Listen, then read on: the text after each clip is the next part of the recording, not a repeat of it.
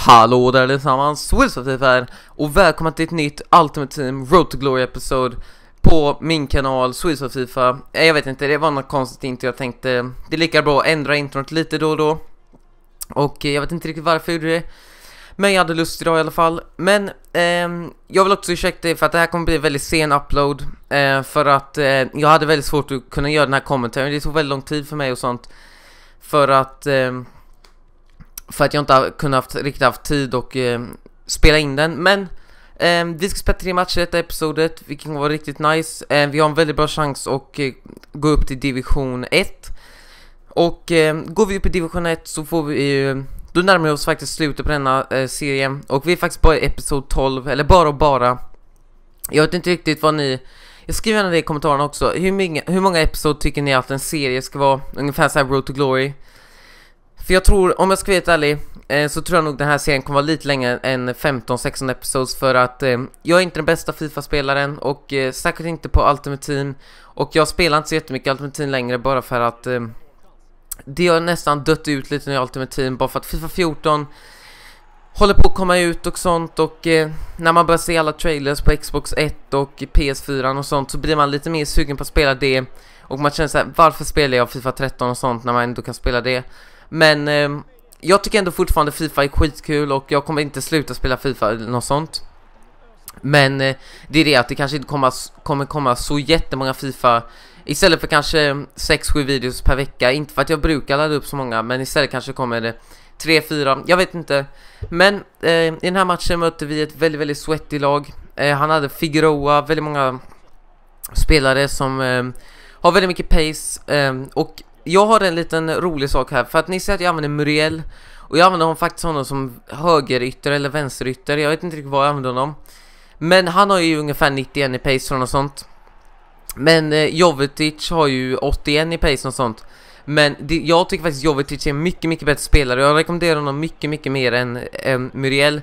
För jag börjar faktiskt bli en lite mer, mindre av en pace abuser och jag börjar köpa lite mer skills och sånt.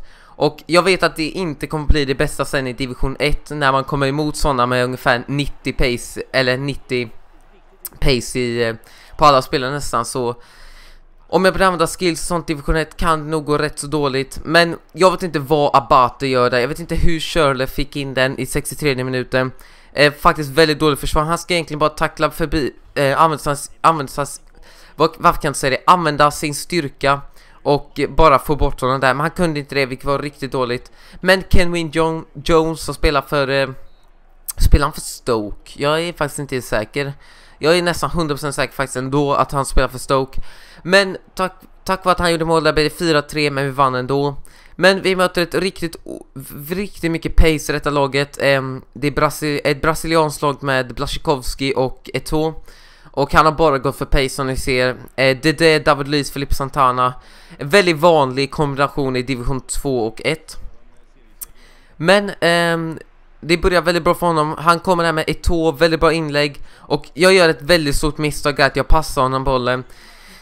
Och när jag, nu när jag ser på det igen så blir jag faktiskt sur bara att se på det för att det var riktigt störande. Men Jovetic med ett stenhårt skott rakt upp i krysset, det är därför jag älskar honom. Och jag har faktiskt väldigt lust att testa hans inform för jag tror han skulle vara ett riktigt beast faktiskt. Men vi får se om jag köper honom. Eh, och det var en i, som skrev i kommentarerna på förra Ultimate-videon, eh, Road to Glory. Och de undrade, eh, vad var det nu igen? Jo, de undrade hur mycket jag skulle sälja mina blåa spelare som man säger, eh, mina Team of Season-spelare. Och Ribéry går, går ungefär för en, en, en miljon, 1,1 miljoner. Eh, El Sharawi går ungefär för 300 000 och Benjat som jag har köpt eh, hans eh, Team of Season går för ungefär eh, 70-60 000 så bara med de spelarna går det väldigt, alltså ja, det är väldigt, väldigt bra.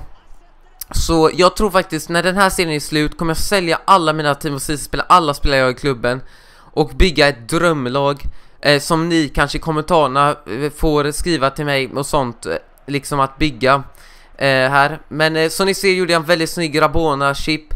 Eh, jag tror det var eh, Rodrigo Palacios, eller Palacio, som, som gjorde den passningen. Var väldigt nära Robin gjorde mål, men Wellington gör mål i 78 minuter där.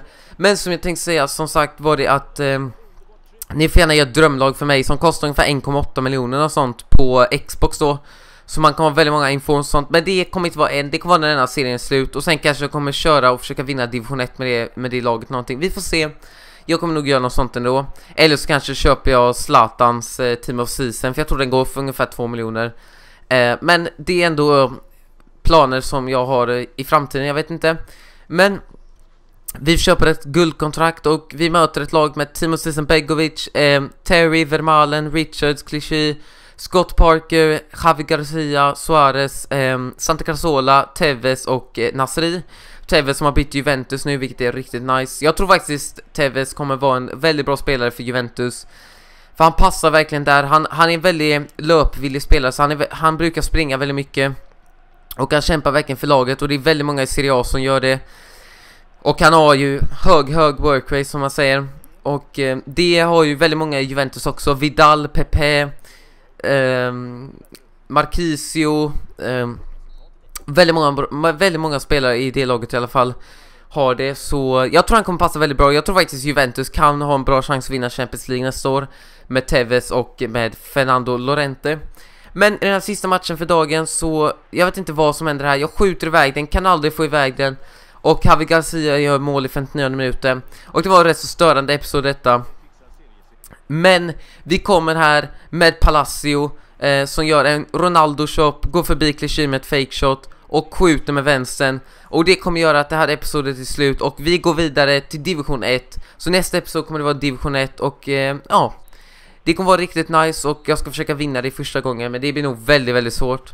Men eh, jag hoppas att ni tar om detta episod med Ultimate Team Road Glory och jag ursäktar för att det var en sen upload men det blev så. Men jag hoppas att ni tar om detta och vi ses.